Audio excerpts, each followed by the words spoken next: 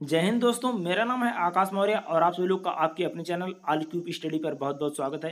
Friends, आज की video में आप लोगों से बात करने वाला हूँ बीएसएफ के जो है, आने वाली नई भर्तियों के बारे में, मैं इस भर्ती के बारे में बिल्कुल ही बात नहीं करूँगा, जो कि आप लोग यहाँ पर फ्रंट पेज पर देख रहे हैं, बारह हज़ार नई भर्ती के बारे में। जिसमें कि मैंने आप लोगों को इस पर जो है, पहले भी वीडियो बनाया हुआ था, मैंने वहाँ पर आप लोगों को बताया हुआ था कि ये जो है, एक अखबार की बेसिस पर यह वीडियो बनाया जा रहा है।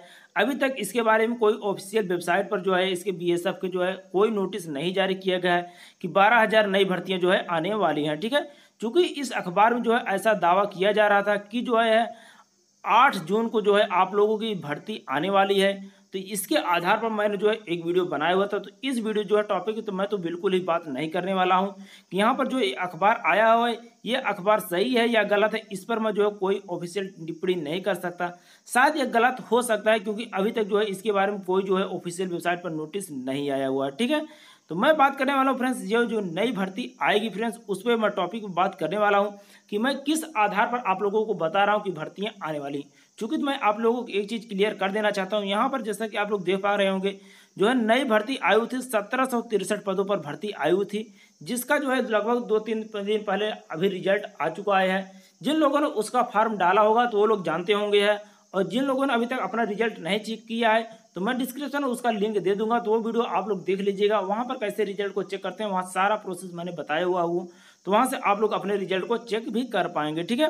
यदि आप लोगों को फिर भी भरोसा नहीं होता तो आप लोग जो है बी के ऑफिशियल वेबसाइट पर जाकर देख सकते हैं। इसका लगभग दो तीन दिन पहले जो है बी एस ट्रेड्समैन का रिज़ल्ट आया हुआ, ठीक है? जिसका टोटल पोस्ट जो सत्रह पोस्ट आया हुआ था। तो अब मैं बता दूँ, नई भर्तियाँ कब तक आ सकती क्योंकि इसका रिज़ल्ट आ चुका है अब जो है, जल्द ही बरसात आने वाले जिसमें बरसात में जो है, आप लोगों की जो है, कोई भर्तियाँ होने वाली नहीं है। शायद हो सकता है, बरसात के लास्ट तक, यानी कि आप लोगों को लगभग जो है, अगस्त तक आप लोगों का जो है, इसका ऑनलाइन फॉर्म आ जाएगा। उसके बाद सितंबर, अक्टूबर में आप लोगों को दौड़ कराई जा सकती है। चूँकि मैं आप लोगों को बता दूँ, इसमें बीएसएफ में लगभग जो है, बीस से इक्कीस हज़ार पोस्ट खाली हैं। अब कितनी पोस्ट जो है, यहाँ पर जो है, केंद्र सरकार की तरफ़ से आता है फ्रेंड्स अभी ये देखने वाली बात है, ठीक है? तो जैसे इसके बारे में कोई ऑफिशियल नोटिफिकेशन आता है, अभी तो इसके बारे में कोई ऑफिशियल नोटिफिकेशन नहीं आना, आ रहा है, ठीक है? तो मैं आप लोगों को एक चीज़ क्लियर कर देना चाहता हूँ यदि आप लोग वीडियो को देखना चाहे तो आगे देख सकते हैं, वरना आप लोग स्किप करके जो है छोड़कर जा सकते हैं बीच में, ठीक है?